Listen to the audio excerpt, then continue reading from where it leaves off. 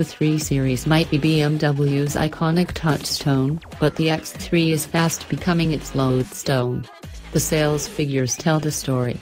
In the nine months through September 2017, BMW sold 32,127s in the US it still sold more 3 Series over the same period, 43,215, but it's the trend, not the number, that's important. X3 sales were up 3.6% year-on-year while 3 Series sales were down 18.6%.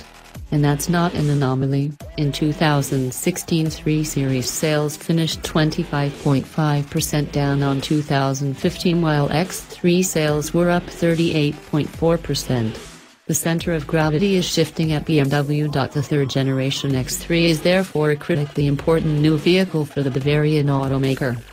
One in three BMWs sold worldwide these days carries an X badge, and BMW clearly expects the X3 to soon supplant the X5 as the company's most popular SUV, having announced plans to augment production out of Spartanburg, South Carolina, with new X3 assembly lines in South Africa and China opening in 2018.